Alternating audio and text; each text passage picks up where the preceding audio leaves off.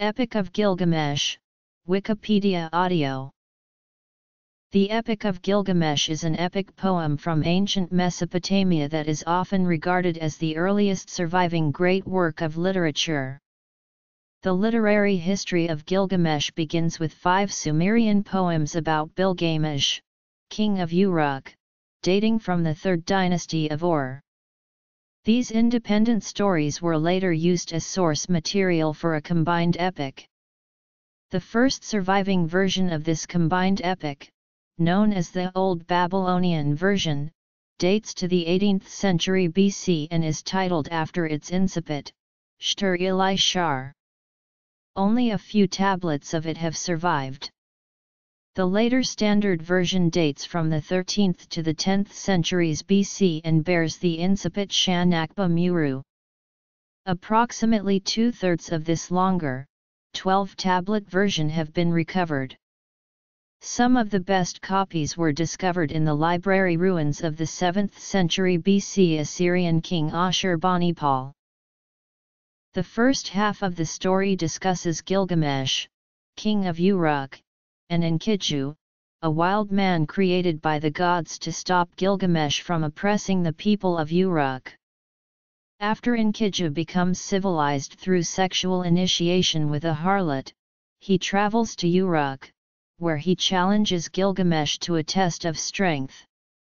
Gilgamesh wins and the two become friends. Together, they make a six-day journey to the legendary cedar forest, where they plan to slay the guardian, Humbaba the Terrible, and cut down the sacred cedar. Later they kill the bull of heaven, which the goddess Ishtar sends to punish Gilgamesh for spurning her advances. As a punishment for these actions, the gods sentence Enkidu to death. In the second half of the epic, distress about Enkidu's death causes Gilgamesh to undertake a long and perilous journey to discover the secret of eternal life. He eventually learns that life, which you look for, you will never find.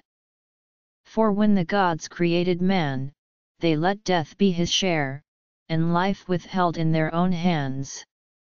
However, because of his great building projects, his account of Siduri's advice, and what the immortal man Utnapishtim told him about the Great Flood, Gilgamesh's fame survived his death. His story has been translated into many languages, and in recent years has featured in works of popular fiction. History Distinct sources exist from over a 2000-year time frame. The earliest Sumerian poems are now generally considered to be distinct stories, rather than parts of a single epic. 45 They date from as early as the 3rd dynasty of Ur, 41-42 The Old Babylonian tablets, 45 are the earliest surviving tablets for a single epic of Gilgamesh narrative.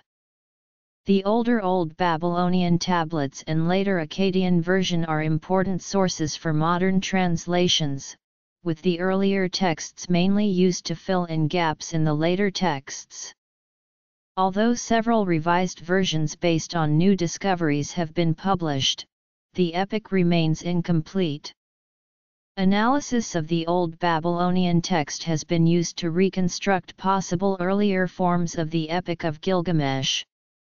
The most recent Akkadian version, also referred to as the Standard Version, consisting of 12 tablets, was edited by Sin-leqi-unninni and was found in the library of Ashurbanipal in Nineveh. The Epic of Gilgamesh was discovered by Hormizd Rassam in 1853. The central character of Gilgamesh was initially reintroduced to the world as Izdubar, before the cuneiform logographs in his name could be pronounced accurately. The first modern translation was published in the early 1870s by George Smith. Smith then made further discoveries of texts on his later expeditions, which culminated in his final translation which is given in his book The Chaldean Account of Genesis. The most definitive modern translation is a two-volume critical work by Andrew George, published by Oxford University Press in 2003. A book review by the Cambridge scholar, Eleanor Robson, claims that George's is the most significant critical work on Gilgamesh in the last 70 years. George discusses the state of the surviving material, and provides a tablet-by-tablet exegesis, with a dual language side-by-side translation. In 2004, Stephen Mitchell supplied a controversial version that takes many liberties with the text and includes modernized allusions and commentary relating to the Iraq War of 2003. The first direct Arabic translation from the original tablets was made in the 1960s by the Iraqi archaeologist Taha Baqir. The discovery of artifacts associated with Enmebaragesi of Kish, mentioned in the legends as the father of one of Gilgamesh's adversaries, has lent credibility to the historical existence of Gilgamesh. 4041 From the diverse sources found, two main versions of the epic have been partially reconstructed, the standard Akkadian version, or He Who Saw the Deep, and the Old Babylonian version, or Surpassing All Other Kings. Five earlier Sumerian poems about Gilgamesh have been partially recovered, some with primitive versions of specific episodes in the Akkadian version, others with unrelated stories. The standard version was discovered by Hormizd Rassam in the library of Ashurbanipal in Nineveh in 1853. It was written in a dialect of Akkadian that was used for literary purposes. This version was compiled by Sin-leqi-unninni sometime between 1300 and 1000 BC from earlier texts. The standard Akkadian version has different opening words, or incipit, from the older version. The older version begins with the words surpassing all other kings, while the standard version has He who saw the deep deep referring to the mysteries of the information brought back by Gilgamesh from his meeting with Utnapishti about Ea, the fountain of wisdom. Gilgamesh was given knowledge of how to worship the gods, why death was ordained for human beings, what makes a good king, and how to live a good life. The story of Utnapishtim, the hero of the flood myth, can also be found in the Babylonian epic of Atrahasis. The twelfth tablet is a sequel to the original eleven, and was probably added at a later date. It bears little relation to the well-crafted 11 tablet epic, the lines at the beginning of the first tablet are quoted at the end of the 11th tablet, giving it circularity and finality. Tablet 12 is a near copy of an earlier Sumerian tale, a prequel, in which Gilgamesh sends Enkidu to retrieve some objects of his from the underworld, and he returns in the form of a spirit to relate the nature of the underworld to Gilgamesh. Versions This summary is based on Andrew George's translation. The story introduces Gilgamesh, king of Uruk. Gilgamesh, two-thirds god and one-third man, is oppressing his people, who cry out to the gods for help. For the young women of Uruk this oppression takes the form of a droit du seigneur, or lord's right, to sleep with brides on their wedding night. For the young men it is conjectured that Gilgamesh exhausts them through games, tests of strength, or perhaps forced labor on building projects. The gods respond to the people's pleas by creating an equal to Gilgamesh who will be able to stop his oppression. This is the primitive man, Enkidu, who is covered in hair and lives in the wild with the animals. He is spotted by a trapper, whose livelihood is being ruined because Enkidu is uprooting his traps. The trapper tells the sun god Shamash about the man, and it is arranged for Enkidu to be seduced by Shamhat, a temple prostitute, his first step towards being tamed. After six days and seven nights of continuous lovemaking she takes Enkidu to a shepherd's camp to learn how to be civilized. Gilgamesh, meanwhile, has been having dreams about the imminent arrival of a beloved new companion. Shamhat brings Enkidu to the shepherd's camp, where he is introduced to a human diet and becomes the night watchman. Learning from a passing stranger about Gilgamesh's treatment of new brides, Enkidu is incensed and travels to Uruk to intervene at a wedding. When Gilgamesh attempts to visit the wedding chamber, Enkidu blocks his way, and they fight. After a fierce battle, Enkidu acknowledges Gilgamesh's superior strength and they become friends. Gilgamesh proposes a journey to the cedar forest to slay the monstrous demigod Humbaba in order to gain fame and renown. Despite warnings from Enkidu and the Council of Elders, Gilgamesh is not deterred. The elders give Gilgamesh advice for his journey.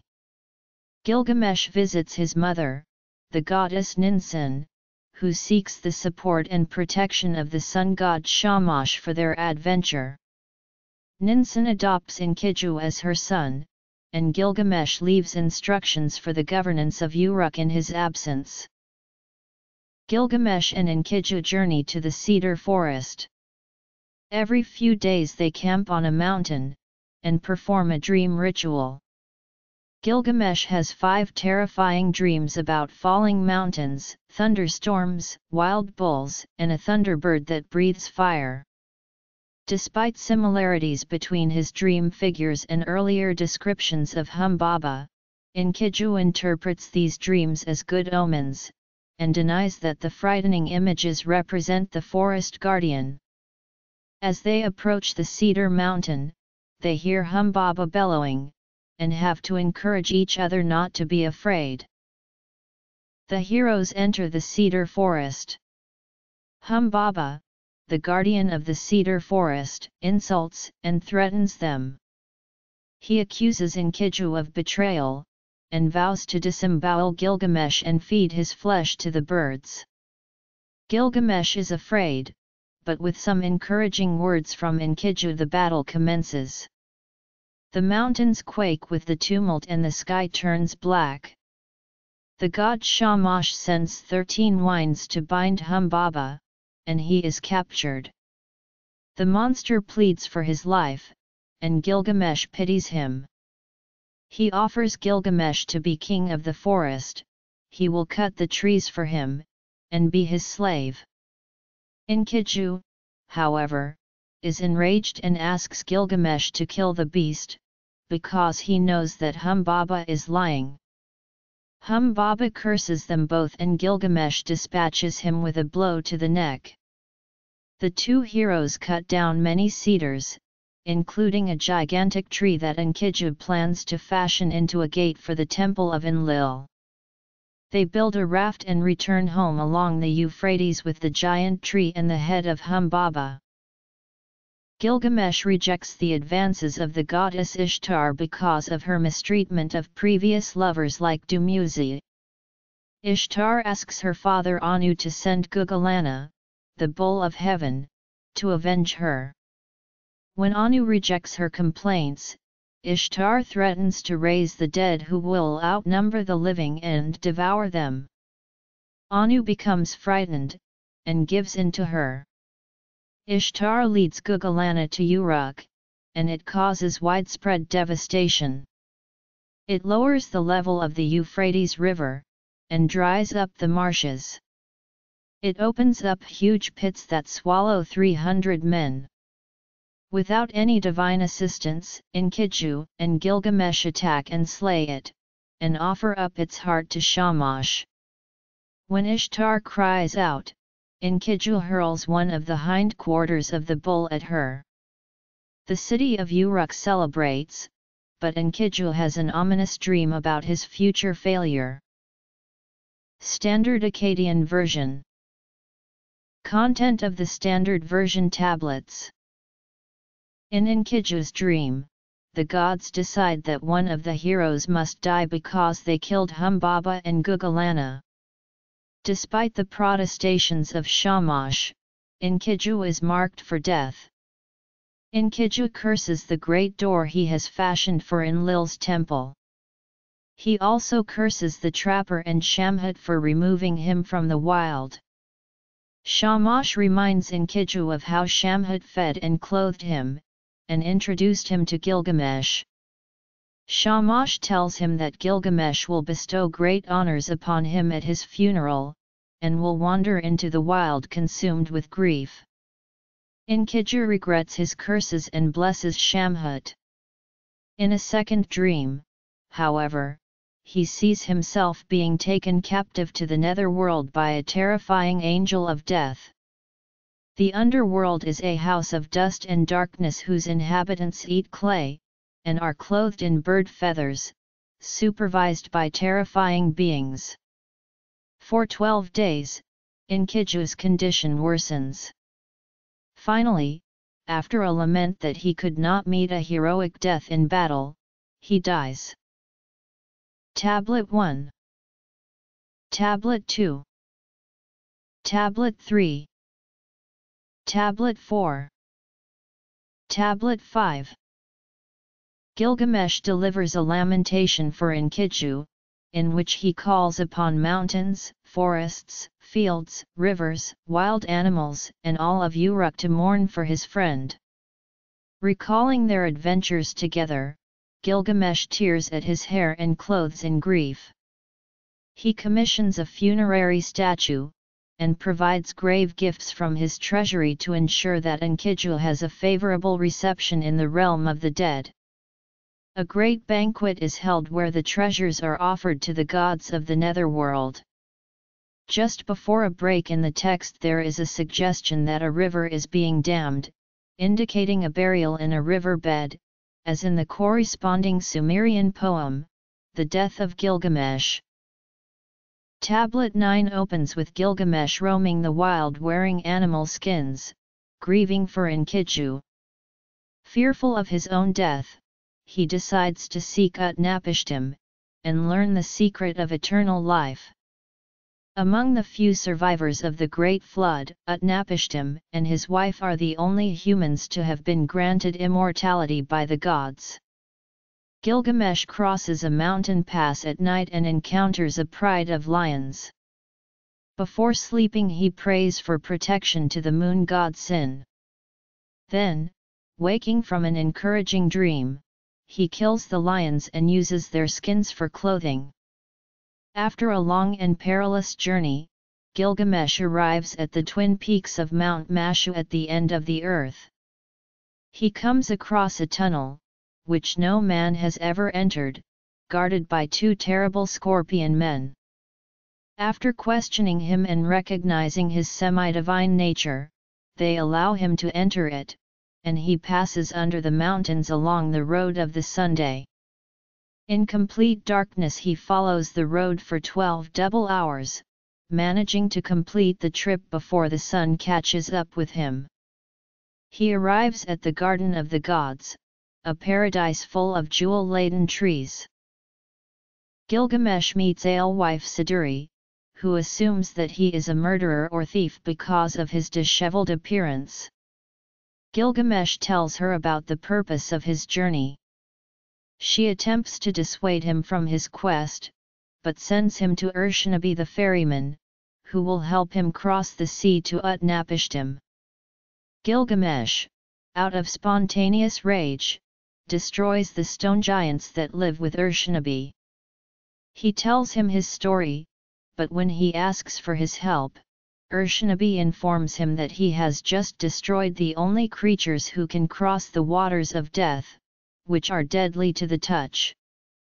Urshanabi instructs Gilgamesh to cut down 120 trees and fashion them into punting poles. When they reach the island where Utnapishtim lives, Gilgamesh recounts his story, asking him for his help. Utnapishtim reprimands him, declaring that fighting the common fate of humans is futile and diminishes life's joys. Tablet 6 Gilgamesh observes that Utnapishtim seems no different from himself, and asks him how he obtained his immortality. Utnapishtim explains that the gods decided to send a great flood. To save Utnapishtim the god Ea told him to build a boat. He gave him precise dimensions, and it was sealed with pitch and bitumen. His entire family went aboard together with his craftsmen and all the animals of the field. A violent storm then arose which caused the terrified gods to retreat to the heavens. Ishtar lamented the wholesale destruction of humanity, and the other gods wept beside her. The storm lasted six days and nights, after which all the human beings turned to clay. Utnapishtim weeps when he sees the destruction. His boat lodges on a mountain, and he releases a dove, a swallow, and a raven. When the raven fails to return, he opens the ark and frees its inhabitants. Utnapishtim offers a sacrifice to the gods, who smell the sweet savor and gather around. Ishtar vows that just as she will never forget the brilliant necklace that hangs around her neck, she will always remember this time. When Enlil arrives, angry that there are survivors, she condemns him for instigating the flood. Ea also castigates him for sending a disproportionate punishment. Enlil blesses Utnapishtim and his wife, and rewards them with eternal life. This account matches the flood story that concludes the Epic of Atrahasis. The main point seems to be that when Enlil granted eternal life it was a unique gift. As if to demonstrate this point, Utnapishtim challenges Gilgamesh to stay awake for six days and seven nights. Gilgamesh falls asleep, and Utnapishtim instructs his wife to bake a loaf of bread on each of the days he is asleep, so that he cannot deny his failure to keep awake. Gilgamesh, who is seeking to overcome death, cannot even conquer sleep. After instructing Urshanabi the ferryman to wash Gilgamesh, and clothe him in royal robes, they depart for Uruk. As they are leaving, Utnapishtim's wife asks her husband to offer a parting gift. Utnapishtim tells Gilgamesh that at the bottom of the sea there lives a boxthorn-like plant that will make him young again. Gilgamesh, by binding stones to his feet so he can walk on the bottom, manages to obtain the plant. Gilgamesh proposes to investigate if the plant has the hypothesized rejuvenation ability by testing it on an old man once he returns to Uruk. There is a plant that looks like a box thorn, it has prickles like a dog rose, and will prick one who plucks it. But if you can possess this plant, you'll be again as you were in your youth. This plant, Durshanabi, is the plant of heartbeat, with it a man can regain his vigor. To Uruk the sheepfold I will take it, to an ancient I will feed some and put the plant to the test. 98. Unfortunately, when Gilgamesh stops to bathe, it is stolen by a serpent, who sheds its skin as it departs. Gilgamesh weeps at the futility of his efforts, because he has now lost all chance of immortality. He returns to Uruk, where the sight of its massive walls prompts him to praise this enduring work to Urshanabi. This tablet is mainly an Akkadian translation of an earlier Sumerian poem, Gilgamesh and the Netherworld, although it has been suggested that it is derived from an unknown version of that story, 42 The contents of this last tablet are inconsistent with previous ones. Enkidu is still alive, despite having died earlier in the epic. Because of this, its lack of integration with the other tablets, and the fact that it is almost a copy of an earlier version, it has been referred to as an inorganic appendage to the epic. Alternatively, it has been suggested that its purpose, though crudely handled, is to explain to Gilgamesh the various fates of the dead in the afterlife and in an awkward attempt to bring closure, it both connects the Gilgamesh of the epic with the Gilgamesh who is the king of the netherworld, and is a dramatic capstone whereby the 12-tablet epic ends on one and the same theme, that of seeing, with which it began. Tablet 7 Gilgamesh complains to Enkidu that various of his possessions have fallen into the underworld. Enkidu offers to bring them back. Delighted, Gilgamesh tells Enkidu what he must and must not do in the underworld if he is to return. Enkidu does everything which he was told not to do. The underworld keeps him. Gilgamesh prays to the gods to give him back his friend. Enlil and Suen don't reply, but Ea and Shamash decide to help. Shamash makes a crack in the earth, and Enkidu's ghost jumps out of it. The tablet ends with Gilgamesh questioning Enkidu about what he has seen in the underworld. This version of the epic, called in some fragments surpassing all other kings, is composed of tablets and fragments from diverse origins and states of conservation. 10126 It remains incomplete in its majority, with several tablets missing and big lacunae in those found. They are named after their current location or the place where they were found. Tablet 8 Surpassing all other kings Tablet 2, greatly correlates with tablets I2 of the standard version. Gilgamesh tells his mother Ninsun about two dreams he had. His mother explains that they mean that a new companion will soon arrive at Uruk. In the meanwhile the wild Enkidu and the priestess are making love. She tames him in company of the shepherds by offering him bread and beer. Enkidu helps the shepherds by guarding the sheep. They travel to Uruk to confront Gilgamesh and stop his abuses. Enkidu and Gilgamesh battle but Gilgamesh breaks off the fight. Enkidu praises Gilgamesh, Surpassing all other kings Tablet 3, partially matches tablets 2-3 of the standard version. For reasons unknown Enkidu is in a sad mood. In order to cheer him up Gilgamesh suggests going to the pine forest to cut down trees and kill Humbaba. Enkidu protests, as he knows Huwawa and is aware of his power.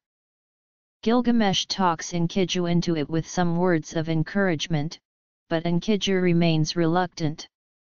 They prepare, and call for the elders. The elders also protest, but after Gilgamesh talks to them, they agree to let him go. After Gilgamesh asks his god for protection and both equip, they leave with the elders' blessing and counsel. Tablet 9 Tablet 10 Tablet 11 Possibly another version of the contents of the Yale tablet, practically irrecoverable. In the journey to the cedar forest in Huwawa, Enkidu interprets one of Gilgamesh's dreams. Fragments from two different versions slash tablets tell how Enkidu interprets one of Gilgamesh's dreams on the way to the forest of cedar, and their conversation when entering the forest. After defeating Huwawa, Gilgamesh refrains from slaying him, and urges Enkidu to hunt Huwawa's seven auras. Enkidu convinces him to smite their enemy. After killing Huwawa and the auras, they chop down part of the forest and discover the god's secret abode. The rest of the tablet is broken. The auras are not referred to in the standard version, but are in one of the Sumerian poems. Partially overlapping the felling of the trees from the Ishchali tablet. Partially overlapping the standard version tablets 9x. Gilgamesh mourns the death of Enkidu wandering in his quest for immortality. Gilgamesh argues with Shamash about the futility of his quest. After a lacuna, Gilgamesh talks to Siduri about his quest and his journey to meet Utnapishtim. Siduri attempts to dissuade Gilgamesh in his quest for immortality, urging him to be content with the simple pleasures of life. After one more lacuna, Gilgamesh smashes the stone ones and talks to the ferryman Urshanabi. After a short discussion, Sursunabu asks him to carve 300 oars so that they may cross the waters of death without needing the stone ones. The rest of the tablet is missing. The text on the Old Babylonian Meissner fragment has been used to reconstruct possible earlier forms of the Epic of Gilgamesh, and it has been suggested that a prior form of the story earlier even than that preserved on the Old Babylonian fragment may well have ended with Siduri sending Gilgamesh back to Uruk. And Utnapishtim was not originally part of the tale.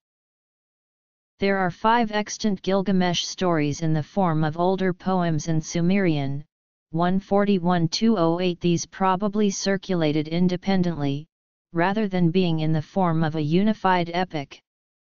Some of the names of the main characters in these poems differ slightly from later Akkadian names, for example, Bilgamesh is written instead of Gilgamesh, and there are some differences in the underlying stories such as the fact that Enkidu is Gilgamesh's servant in the Sumerian version.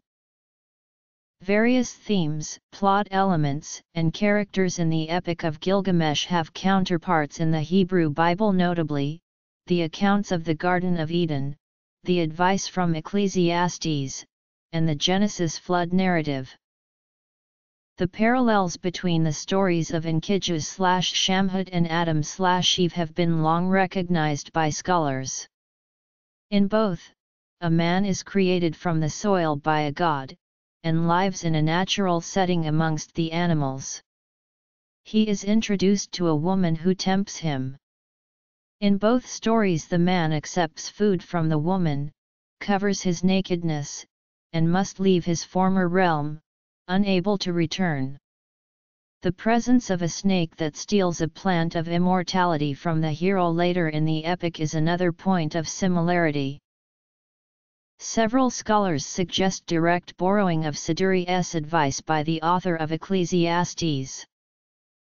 A rare proverb about the strength of a triple-stranded rope, a triple-stranded rope is not easily broken, is common to both books. Andrew George submits that the Genesis flood narrative matches that in Gilgamesh so closely that few doubt that it derives from a Mesopotamian account. What is particularly noticeable is the way the Genesis flood story follows the Gilgamesh flood tale point by point and in the same order, even when the story permits other alternatives.